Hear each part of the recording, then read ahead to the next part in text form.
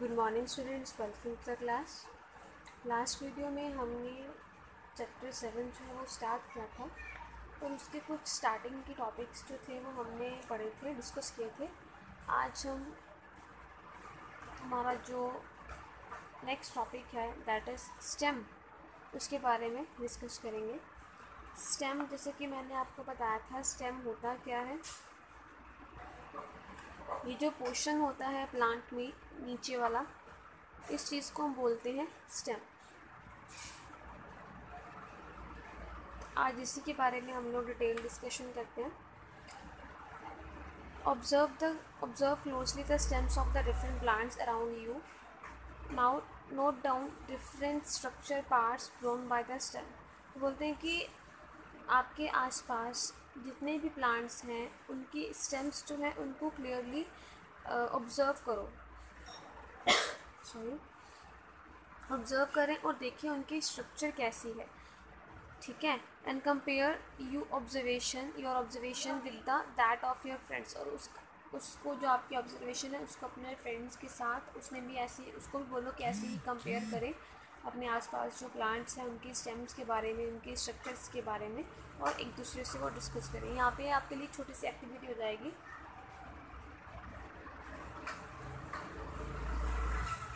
एक छोटी सी एक्टिविटी आपको और दी गई है इस चैप्टर में। उसमें क्या बोला गया आपको?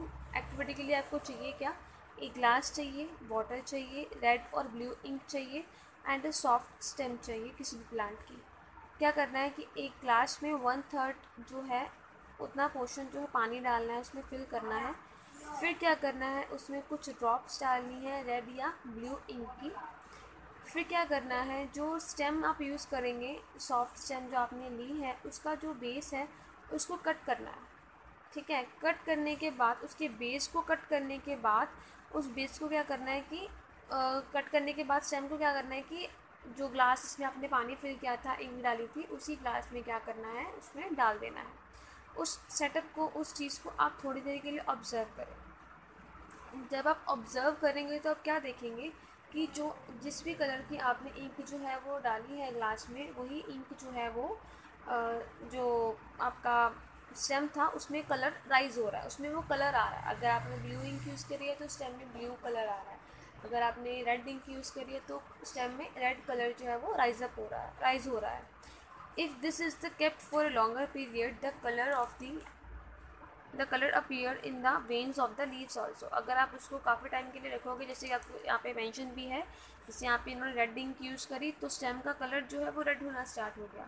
अगर आप उसको ज़्यादा टाइम के लिए रखोगे तो जो लीव्स होंगी वो उस पर जो वेन्स होती हैं जो लाइंस होती हैं वो भी आपको क्या है रेड कलर की, जो भी आपने कलर यूज़ किया है इनका उसी कलर के आपको वो दिखाई देनी स्टार्ट हो जाएँगे। इस एक्टिविटी से आपको क्लियर क्या होता है कि जो स्टेम होती है, वो क्या, किस चीज़ में हेल्प करती है? अपवर्ड ट्रांसपोर्टेशन में। जैसे कि मतलब अपवर्ड मूवमेंट बोल सकते हैं आप कि जैसे हम लोग प्लांट्स को पानी देते हैं रूट्स में पानी डालते हैं तो वो रूट्स से स्टेम उस स्टेम क्या करती है? पानी को अपवर्ड पोजीशन में लेके जाके प्लांट्स के अपर पार्ट्स में जो है, वहाँ पे ट्रांसपोर्ट करती है, ताकि हर एक पार्ट को प्लांट्स के पानी मिल सके।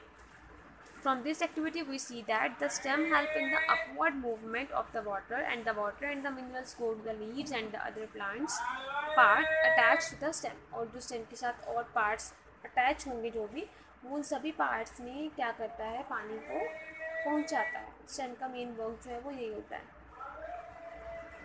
यहाँ पे आपको बताया गया है कि अगर जो हमने बेस को कट किया था वहाँ पे छोटे छोटे पोर्स होते हैं जैसे फिगर ए जो है वो क्या शो कर रही है? Water moves up the stem and the reaches leaves जो वाटर है स्टेम की हेल्प से अपवर्ड पोजीशन में मूव करता है और लीव्स में पहुँचता है। और जो स्टेम है, अगर उसका एनलार्ज स्ट्रक्चर देखें तो वो कुछ इस तरह का होता है। तो यहाँ पे हमारा जो टॉपिक था, वो स्टेम ख़त्म होता है। नेक्स्ट है हमारे पास टॉपिक लीफ लीफ होता क्या है? पत्तियाँ। नॉर्मल प्लांट्स हम देखते हैं। हर एक प्लांट में लीफ होता ही है पत्तियाँ होती हैं। Observe the leaves of the some plants around you and draw them in your notebook ये आपके लिए छोटी सी एक्टिविटी भी हो जाएगी कि आप नोटबुक में क्या कर सकते हैं कि आपको डिफरेंट डिफरेंट प्लांट्स की लीव्स को ऑब्ज़र्व करके आ, उनको आप ड्रॉ कर सकते हैं कॉपीज में। और आप देखेंगे कि जब भी आप प्लांट्स को स्टडी करते हैं तो लीव्स जो हैं उनका साइज़ जो है शेप जो है कलर जो है कई प्लांट्स में डिफरेंट डिफरेंट होता है। शेप्स तो मोस्टली डिफरेंट होती ही है। किसी में बढ़िया पत, बड़ी पत्तियाँ होती हैं बड़ी लीव्स होती हैं किसी में स्मॉल लीव्स होती हैं। तो इस तरह से हर एक प्लांट में डिफरेंट डिफरेंट साइज़ की लीव्स जो है वो प्रेजेंट होती हैं।